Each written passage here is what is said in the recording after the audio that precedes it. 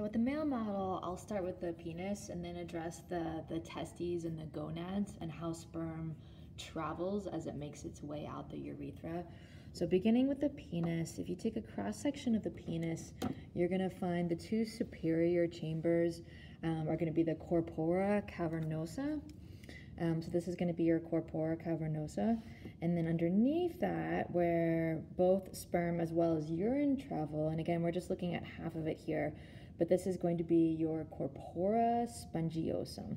And this is going to be the spongy urethra traveling here. So again, corpora cavernosa, it's also shown here. And then here's the spongy urethra where both um, sperm as well as urine are going to travel in the male. Um, so moving over here, you have the scrotum, you have the testis, um, testes, uh, plural, testis, singular. So this is where sperm is going to be made, but then sperm is actually going to be stored in this structure termed the epididymis.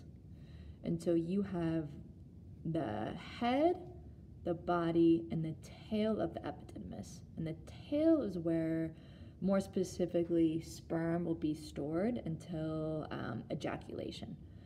During ejaculation, sperm travels up the epididymis. So this is the spermatic cord here. Following the vas deferens, sometimes also referred to as the ductus deferens, pardon my video skill here. So again, from the, the tail of the epididymis, vas deferens is going to travel through here, and then it tucks down here, running on the posterior side of the bladder. So this structure here is actually the, the ureter passing into the bladder. This is a good view of the seminal vesicles as well as the prostate. So at the back of the bladder, here is going to be your seminal vesicle. So on the posterior aspect, very close to where the ureter enters.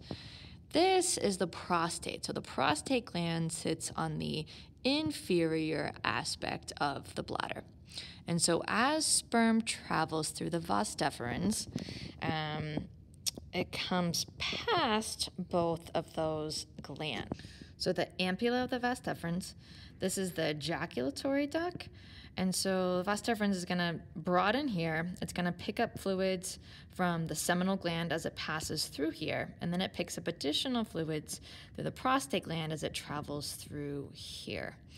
Um, and then it will go out the penis. That part's hard to see from the model. Um, out through the, again, the spongy urethra. Portions of the urethra out in a different model as well. So here you're going to have the prostate shown in this model. So this is going to be the prostatic urethra. This is going to be the intermediate or membranous urethra here. And then the portion that travels through the penis is going to be the spongy urethra.